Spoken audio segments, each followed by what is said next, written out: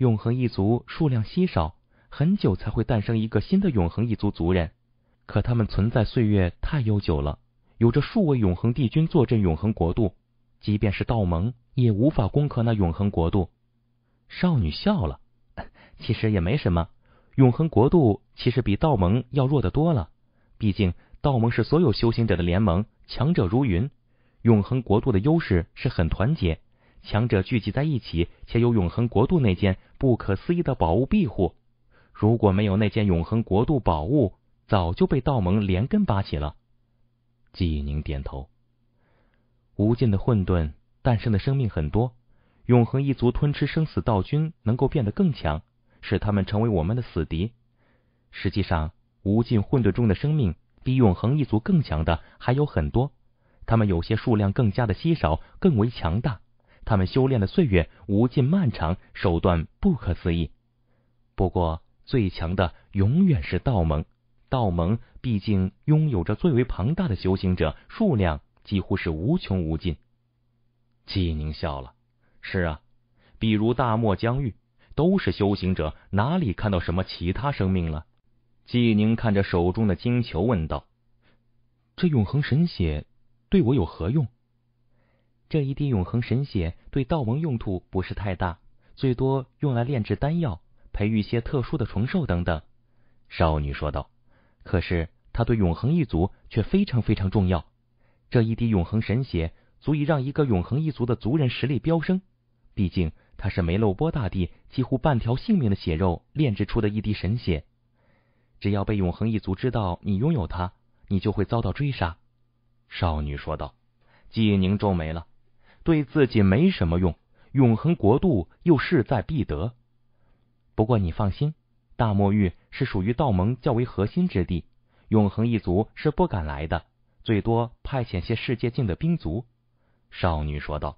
“其实我们就已经怀疑，福开和阿罗伊很可能是永恒一族的兵卒。”“是啊，他们对永恒神血太渴望了，渴望的不太正常。”金眼傀儡说道。“我万神府内也有其他奇宝珍宝，他们却只盯着永恒神血。”而且那福开和阿罗伊都是带着十名世界境仆从，宝物众多，又有永恒神兵，宝贝这么多，来历非凡呐，却又不顾性命，只为永恒神血，这足以让我怀疑他们是永恒一族的走狗了。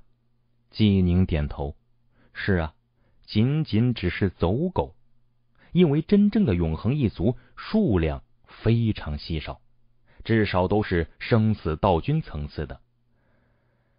也仅仅只是怀疑罢了，金眼傀儡说道：“他们毕竟是按照主人定下的规矩，闯过诸多险境，又从生死磨盘上活下来的。如果不是你，我也只能将永恒神血给阿罗伊了。”季宁点头：“这永恒神血对你用途不大，你出去后尽快赶回大漠院。”金眼傀儡说道。告诉大漠道君，你得到了永恒神血，欲要卖给道盟。一旁的少女也点头说道：“大漠道君实力非凡，虽然未曾摸到河道边缘，却已经是无尽疆域中赫赫有名的道君了。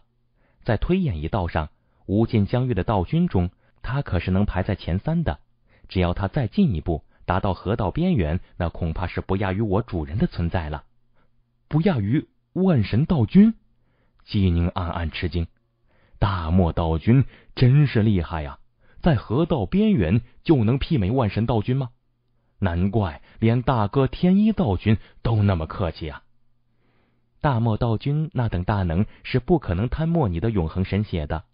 少女笑道：“你交给他是最安全的办法。如果你交给道盟的其他生死道君，十有八九会被杀了夺宝。”因为这一滴永恒神血对道盟虽然不是太重要，道盟呢也是愿意出两百万方混沌灵液买下的。这两百万方，季宁有些震撼了，这天上掉馅饼了。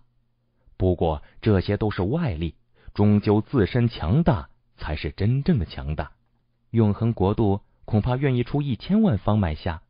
少女笑了，可是道盟不可能卖给他们。因为卖给他们，就是让永恒国度的强者变得更强。两百万方，一千万方，季宁觉得这财富啊太惊人了。忽然他想起来，大哥天一道君请大漠道君帮忙，就是送上了足以炼制出最好、最完美的两具法身的法宝。纪宁连声问道：“生死道君要炼制法身，一具最完好、最完美的法身，宝物价值是多少啊？”最完美。少女笑看了纪宁一眼。生死道君们一般炼制法身，都是炼制较为简陋的法身。毕竟生死道君们一步一生死，到了后期，拥有着不可思议的实力后，才敢说去弄一具堪称完美的法身。一具完美法身所需宝物，怕是不下于一千万方了。就算对于河道边缘的生死道君，也几乎是全部身家了。季宁听了恍然。大哥天一道君为了请大漠君帮忙，是倾尽了宝物。天一道君呢，可是天苍宫的公主，活了无尽岁月。这次是为了河道，才舍得拿出这么多的宝物的。一千万方，那是正常河道边缘大能才拿得出的。少女说道：“一般弱小些的生死道君，身家也就数十万方混沌灵液，这一滴永恒神血。”已经能媲美一般的生死道君了。金眼傀儡郑重喝道：“浩瀚无尽混沌蕴藏了不知道多少宝物，可能一片神秘的叶子就价值数百万方。比如一滴心净水，就足以让河道边缘的大能为之疯狂了。拿出千万方，想要买都买不到的。可这些都是虚的，宝贝只是外力，修行路。”终究是要靠自己。季宁点头，向天一道君去一波界，似乎就是为了某个宝物。为了那个宝物，天一道君又是去了素风遗迹冒险得永恒信符，又是花费了巨大代价请大漠道君帮忙，又是不顾生死危险进入一波界。由此可见，有些宝物啊，的确足以让河道边缘的道君们疯狂了。是啊，宝物终究是外力。少女也感叹道：“我主人为了河道，拼了性命找一些宝物，请许许多多朋友来帮忙，做了无比充分的准备。可最终河道还是失败了。而传说中也有大能，根本没有什么准备，仅仅在睡梦中就自然而然河道成就永恒了。修行才是根本呢。”少女感慨，季宁也点头。季宁早就明悟了这一点。其实，像天一大哥，像万神道君，谁不懂这一点啊？只是这当这路走到了尽头，站在河道边缘，又没有河道的把握，自然是寻求外物的帮助了，来提升河道的可能性。永恒神血的事该如何处理？你也知道了。少女指着周围的一座座雕刻，足有百里广阔的殿厅四面墙壁。有着足足数千座雕刻，这些都是主人亲手所雕，炼器、炼丹、阵法等等，主人精通的太多太多了。字号万神，少女说道：“就算是剑道，主人也曾经参悟过。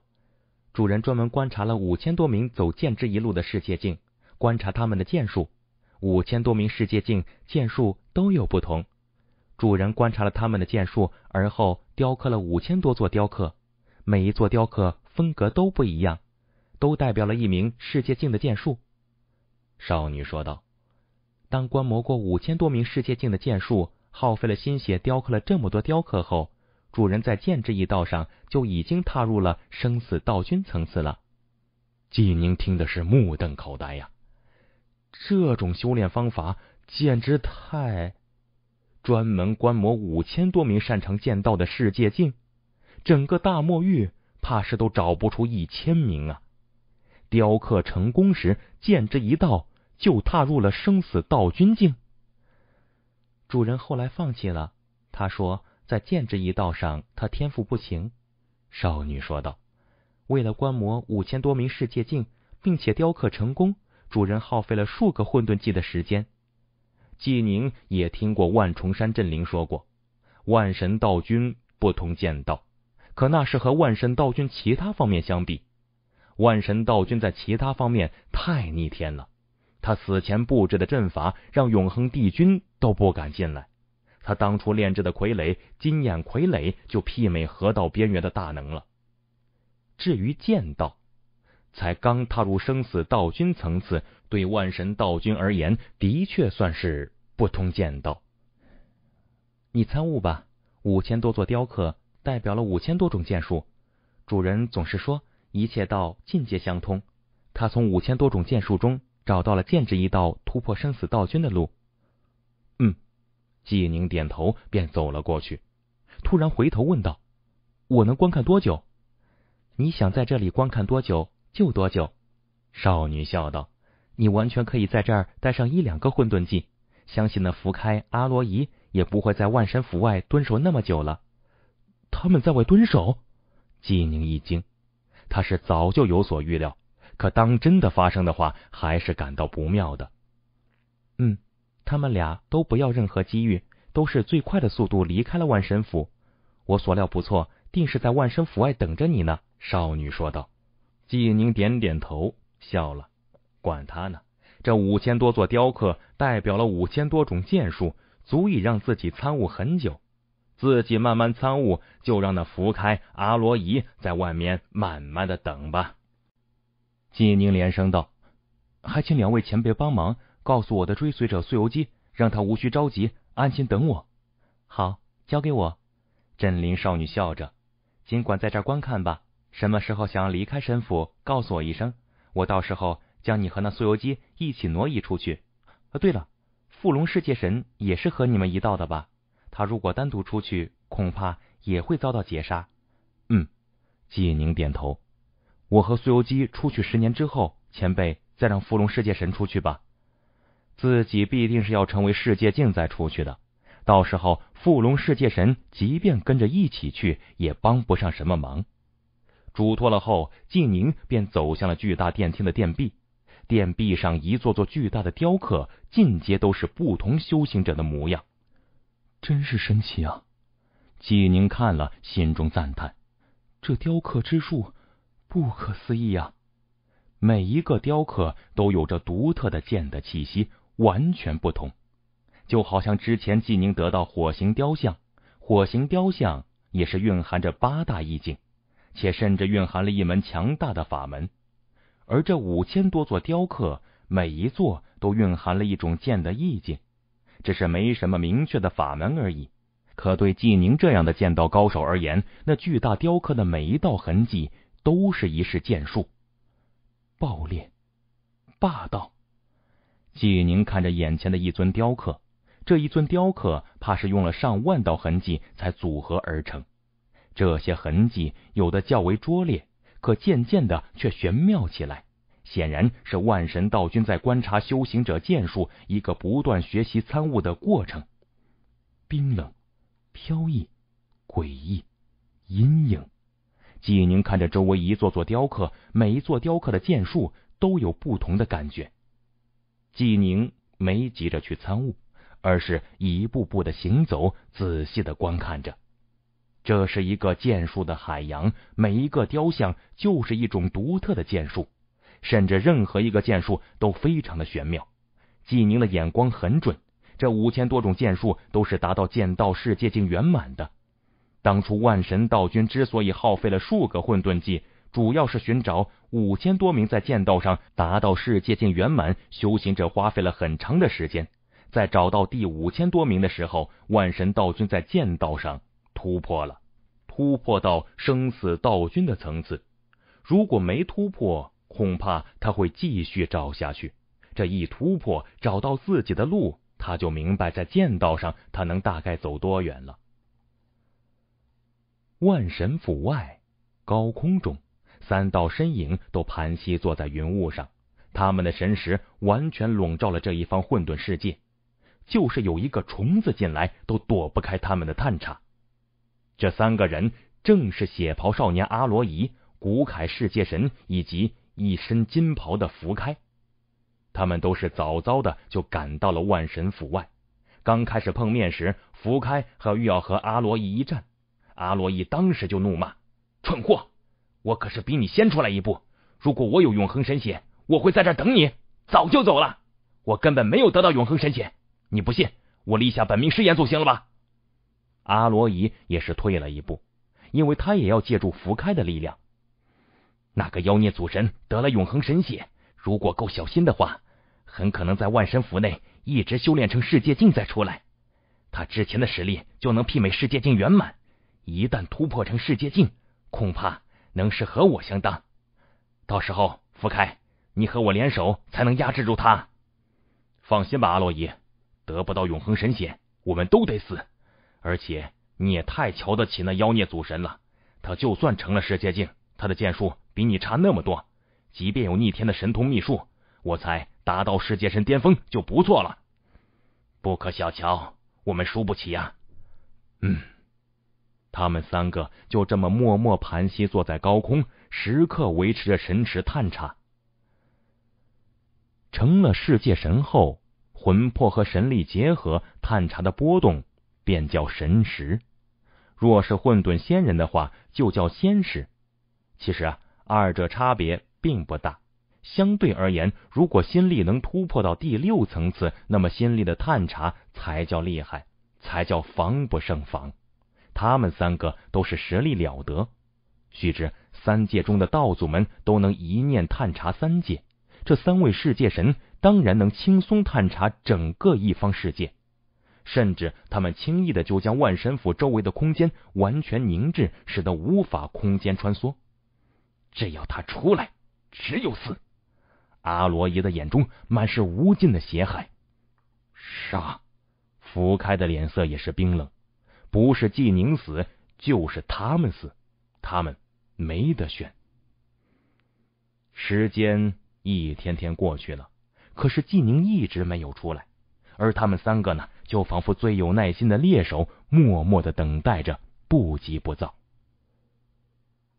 神府内，剑之殿厅内，纪宁慢慢的行走着，观看着一座座雕像，五千多种剑术，不同修行者的剑术，季宁看得目眩神迷，仿佛徜徉在剑的海洋中，太震撼了。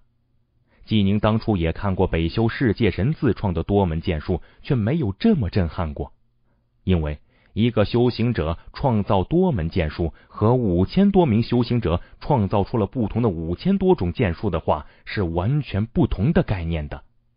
因为一名修仙者对道的感悟已经是固定了，他自创的剑术终究属于一个系列，而五千多名修仙者的话却是完全不同了。经历不同，思想不同，剑术也完全不同，那才叫真正的包罗万象。在很久很久以前，那时候还没有剑这种兵器，一位生灵发明了剑这种兵器，渐渐的就有用剑的一些奥妙，逐渐的开始形成一种种剑术，甚至有资格称得上是剑道。无尽岁月过去。无尽疆域亿万修行者，一代代的传承，剑道愈加的浩瀚，一位位生死道君走出了自己的路，连这无尽的混沌深处都有了剑之本源。可终究，一切都起源于那一个看似普通的兵器——剑。季宁自从眼光变了后，剑的世界在他眼前也就变了。这五千多种剑术，季宁看到的是。不同的剑术的发展过程都是从简略逐渐的玄妙。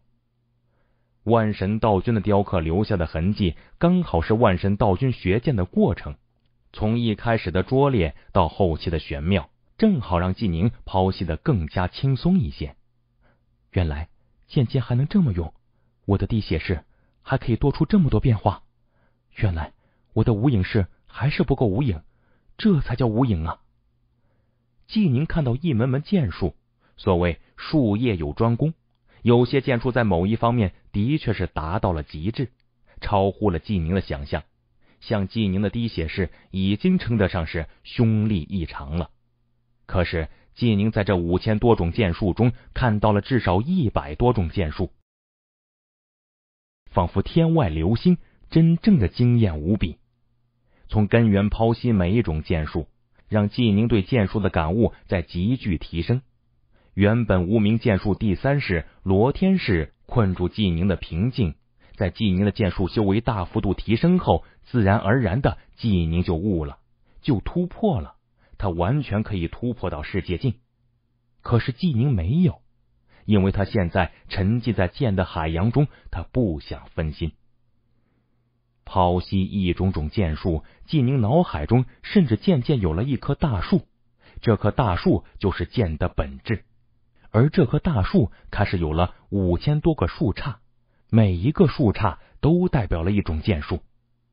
随着纪宁的参悟，有些树杈开始靠到了一起，长在了同一根根枝上。这是一次非常珍贵的机遇。对纪宁而言，甚至远远超过了永恒神血。永恒神血终究是外力，可这五千多座雕像，特别是雕像上那些拙劣的痕迹，因为万神道君初学那门剑术很拙劣，自然浅显。浅显的纪宁才能更加简单的剖析，如果是深奥的，反而是没法剖析。纪宁脑海中的那棵关于剑道的大树越加的壮硕。渐渐的，越来越多的树叶开始汇聚到一根树干上。这棵剑道大树的枝干越来越少，从数百根枝干变成一百根枝干，变成数十根枝干。纪宁的修为不知不觉的在不断的提升着。时间流逝，沸腾的岩浆岸边正盘膝坐着一名火红衣袍女子。正是得了机缘，在神府中参悟许久的火仙子苏游姬。苏游姬看着前方，只见岩浆中央正有着一朵绽放着的莲花，莲花摇曳。此地的确是参悟火星一道的圣地所在。苏游姬微微蹙眉，只是我如今再怎么参悟，也没有丝毫寸进。唉，按照神府镇灵所说。主人他正在参悟，也不知道要参悟到何时。这都过去三千年了。是的，苏游基在神府中已经是待了三千年了。他略微一巩固自身的实力，就能媲美一般的世界境。加上在这处万神道君修行火星一道奥妙的地方修行了三千多年，如今的苏游基已经是达到了顶尖世界境的水准了。须知。万神道君不通剑道，可是，在火刑、雷电等诸多方面都是极为擅长的，让苏游基呢也是有了不少的收获。慢慢等吧，苏游基只能是耐心的等待。都三千年了，还不出来？在万神府之外，在高空的云雾之上，阿罗仪、拂开、古凯世界神他们三个依旧在默默的守着。福开脸色阴冷，看来那妖孽祖神也猜到了些，所以硬是在万神府内拖延，想要修炼成世界境。可即便他妖孽如此，可从祖神到世界境的瓶颈，岂是那么好突破的？三千年没突破，恐怕三万年、三十万年都不一定能突破了。废话作甚？慢慢等吧。阿罗伊冰冷道。无形的压力早就让他们心中充满着无尽的杀意。那一个个老家伙都想要得到永恒神血，可一个个都不敢来，只敢派些世界进来。福开有些怨气道：“哎，是啊，还将永恒神血当成我俩的决心考验。”阿罗伊也摇头道：“这里是大漠域，那位大漠道君。”可是无尽疆域中，在推演一道都排在最顶尖的存在。那些老家伙，只要有一个胆敢进入大漠域，恐怕那位大漠道君就算出来了。嗯，福开点头。大漠道君很可怕，无尽疆域何等浩瀚，就算是万神道君，当年论实力，也不敢说无尽疆域所有道君他排在第一。他也不敢说这话，可大漠道君呢，却是无尽疆域推演一道上排在前三的。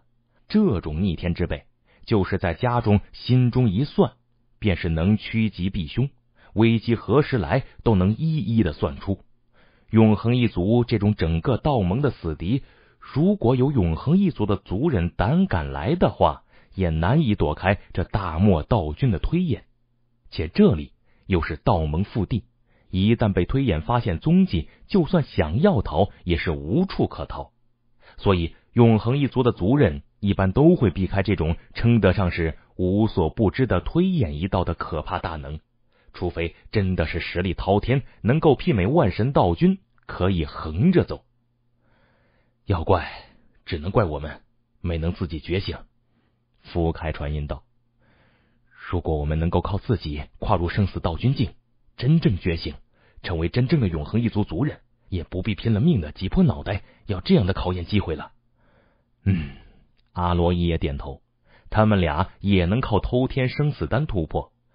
可那样的话，再无突破的潜力，是没法真正觉醒的，也不会被认同为永恒一族的族人，只能靠自己，或者让永恒国度帮他们觉醒，那样代价真的很大。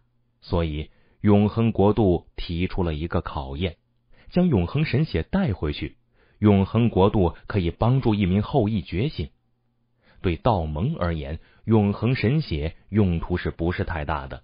可对永恒国度而言的话，这永恒神血那就太重要了。付出点代价帮一名后裔觉醒，那也算是值得的。众多后裔挤破了脑袋，都想要争取这种机会。最终，福开和阿罗伊得到了这个机会。按照永恒国度的命令，得到永恒神血，一步登天。也能觉醒成真正的永恒一族的族人，得不到，那都得死。福开，按照我俩之前立下的本命誓言，一旦那妖孽祖神出来，我们自然同心协力去夺取永恒神血。一旦夺到手，我俩生死对战，生者拿着永恒神血回去。阿洛伊看着福开，这是自然。福开也自信。生死对决，所有手段都能用上。道君以下，他还真的不怕过谁。三千年，就是三万年、三百万年，也得等。阿罗伊眼中寒光闪烁。外面，阿罗伊、拂开他们等的心焦。苏有基也猜测自家主人到底要修炼到何时。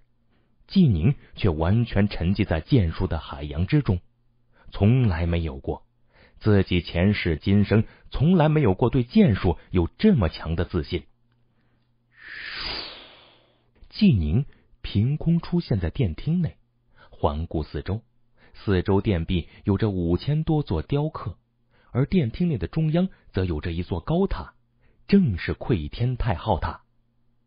季宁这些年几乎都是待在窥天太昊塔内参悟，因为他很清楚。要完全剖析参悟五千多种不同的剑术，需要的时间肯定很漫长。自然是借助了窥天太昊塔。啊，终于进阶参悟了个遍，也达到我如今的极致了。纪宁一挥手就收了窥天台号塔。此刻纪宁豪气万丈，环顾四面八方，纪宁微微躬身，轻声道：“谢万神前辈了。若无前辈搜集这么多剑术。”哪有我纪宁今日一朝顿悟？纪宁也算是颇为谦虚，此时也称自己是顿悟。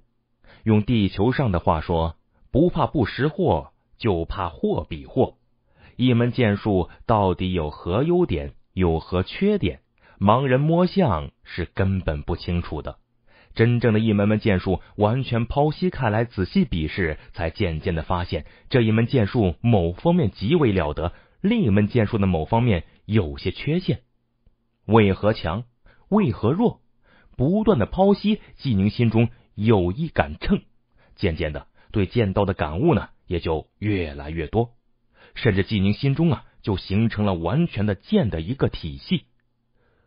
五千多种剑术进阶可分门归类，当纪宁将五千多种剑术分成了十二类，进阶觉得豁然开朗无误后。纪宁甚至有一种一切剑术我进阶无惑，就算极玄妙处暂时悟不透，只需要足够的时间，终究还是能够悟透的。这种自信是观看五千多种剑术后形成的。便拿无名剑术和神剑本源试验一番。季宁微微一笑，这些年他从没刻意去琢磨过无名剑术，最多偶尔分出些念头。即便这样，无名剑术第三式罗天式也早早就悟了。无名剑术第四式牙之角，这一式倒是颇为玄妙。季宁心中迅速剖析着，从剑的本质出发，逐渐的一切在季宁心中展现，花费了六个多时辰。原来如此，创出这等剑法的，真是了不得的大能啊！比创出那五千多种剑术的要厉害不知多少了。季宁轻声赞叹，可他却清楚，那五千多种剑术虽然都不是太高明，却开阔了他的眼界，让他对剑的本质认知也是更加的深刻，使得他短短六个多时辰就悟出了无名剑术第四式。无名剑术第五式呢？纪宁试着参悟，虽略微悟出了少许，最终呢？还是放弃了。北修世界神当年也就悟出了第五式而已。我这三千年，毕竟仅仅是埋头参悟，未曾生死搏杀，还是欠缺了些。再看看神剑本源吧。季宁手中多了一柄神剑，正是永恒神兵紫光琼。季宁细心体会着神剑本源那一股凶力滔天的高高在上的剑意。过去他参悟起来极其的难，如今呢，明显参悟要快多了。足足耗费了一多天的时间，季宁终于感觉到难以再进丝毫了。可这些参悟已经是足够多了，季宁很快就自创了一式剑招。这一式便是本源剑意第二式了。既然是在万神府内参悟，就叫万神式吧。季宁轻声道，内心呢。有着一丝感激的，没有万神道君辛辛苦苦去观摩五千多名世界境圆满的剑道高手，甚至又辛辛苦苦雕刻而成，哪有季宁捡现成的进阶参悟个遍呢？当然，也是季宁对剑的认知直指根本。如果有些剑道高手，就算比季宁的剑道更高，可看到这些雕像，恐怕也只会说一句。我有我的路，这些和我的剑道不合。哈哈，本想在修炼到世界境就出去的，没想到却有了这么一番远超永恒神血的大收获。季宁笑着，练成无名剑术第三式就能成世界境了，自己都练成第四式了。这三千余年，季宁称得上是真正的脱胎换骨，他的剑真正有了魂魄。也为将来成了剑道上的绝对大能铸造了根基。嗯，也该突破到世界境了。季宁盘膝坐下，开始平静心神。轰！天地震颤，混沌之力涌动，唰唰，在神府前的广场上出现两道身影，正是三眼光头男子和镇灵少女。他们俩都抬头看着。好汹涌的混沌之力！少女慨叹道：“比一般修行者突破世界境时动静可大多了。”那季宁可不是一般的世界境能比的。三眼光头男子也仰头看着，须知这还是属于万神府范围了，都能看到汹涌的混沌之力，可以想象外面的动静是何等之大。像之前火仙子苏游基突破的动静，就要比纪宁要小得多了。突破了，应该是天苍宫的纪宁吧？万重山镇灵万山也出现在一座高山之巅，一袭白袍，抬头看着，混沌之力似乎很是震荡汹涌。虽然在神府内，可苏游基依旧感觉到了。难道？有谁突破了？是主人吗？在万神府外那一方混沌世界中的动静，的确是要大得多了。整个一方混沌世界的高空都出现了巨大的混沌漩涡，单单肉眼观看之都心惊肉跳。好大的动静啊！血袍少年阿罗仪、金袍青年福开，古凯、世界神他们三个都抬头冰冷看着。应该是那个妖孽祖神突破了。福开低沉道：“嗯，也该突破了。突破的好，突破了，他也就快出来了。”阿罗伊眼中闪烁着寒光，不愧是能够在祖神时就能匹敌世界境圆满的。这时候突破的动静，就算和我比起来，也是相差无几了。嗯，福开也点头。他们俩都是背景了得，也都非同一般，突破时动静都同样惊人。神府五千剑道殿内，纪宁盘膝坐着。无尽汹涌的混沌之力正环绕着他，不断涌入他的体内。轰！金丹空间内原本一片祥和，有元气海洋，有岛屿，美丽的很。可现在一切破灭，重归混沌。金丹空间内化为了一片混沌，剑种，一颗种子凭空出现。这一颗种子是达到建立第五层次剑神境自然凝聚的剑种，一般是肉眼难以看到的。可现在在这金丹空间的一方混沌中，它却显形了。这一方混沌空间就是以剑道为核心的，建立第六层次剑世界。一道低吟声响彻这一方混沌世界。原本的那一颗剑气环绕的种子却开始生长了，渐渐的开始破开，有树苗破壳而出，很快剑种就化为了一株小树苗，树苗正在迅速的生长，大量的根须也疯狂的朝四面八方蔓延。纪宁关于剑道的一切感悟，就仿佛养分，让这代表剑道的大树不断的生长。这棵树迅速的成长，十丈、百丈、三百丈。六百丈、一千丈，纪宁在剑道上的感悟非常的惊人，使得这棵道树也在成长，就像一棵普通的大树能令泥土滚固，而道术呢，就是混沌仙人金丹空间的根基所在。有这一棵道树，才能令金丹混沌空间不断的扩张。道术代表了一名修行者的道。纪宁走的是剑道，这棵道树代表的就是剑道之术。当然，纪宁的金丹空间也可以长出其他的道术，如水行之道、雷电之道等等。可显然，现在境界还不够，其他道没有达到世界境层次，最多形成道种，无法生根发芽、生长起来。道树的高度也代表了一名修行者境界的高低。正常的刚成为世界境，一般道树也就几百丈高，巩固一番，一般能达到一千丈。有千丈高，在境界上能媲美一般世界境；万丈高，境界上能媲美顶尖世界境；三万六千丈的话，那是世界境圆满。在世界境中，金丹混沌空间内的道树三万六千丈是一个极限。任何一个世界境的道术最高也就如此了，除非再次有根本性的突破，找到属于自己的路，打破极限，道术会越加的粗壮高大，那就是生死道君的境界了。一片混沌中，道术越加粗壮巍峨，大量的树枝生长，每一片树叶都代表了纪宁不同的剑术，因为之前参悟过五千多种剑术。加上纪宁自己创出的种种剑术，纪宁的这棵道树的确是枝繁叶茂。五千丈、八千丈、一万丈，道树不断的生长，蕴含了纪宁一切剑道的感悟的道术，虽然有着足够的后劲，当成长到两万一千丈有余的时候，道术终于停止了生长，它的枝叶肆意的朝四面八方生长。